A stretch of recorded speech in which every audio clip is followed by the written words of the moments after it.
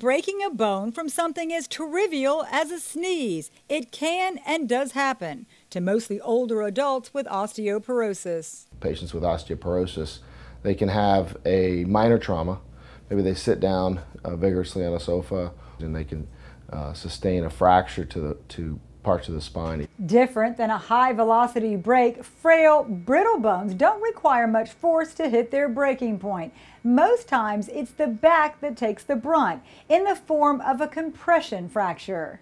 If you think of a um, maybe a, a, piece of styrofoam um, and you just and you press down on it, uh, that's what happens to the bone. It's loss of integrity of the bone, and that's what causes the fracture. The pain typically occurs near the break itself, most commonly near the waistline, mid chest, or lower back. People find it gets worse standing or sitting for long periods. They walk in, um, obvious pain, uh, obvious difficulty standing, obvious difficulty sitting, uh, even any, any small maneuvers such as walking, you can see the patients in significant pain. Age is the fueling force behind most compression fractures, but there's also a long list of diseases as well as medications that are known to increase risks.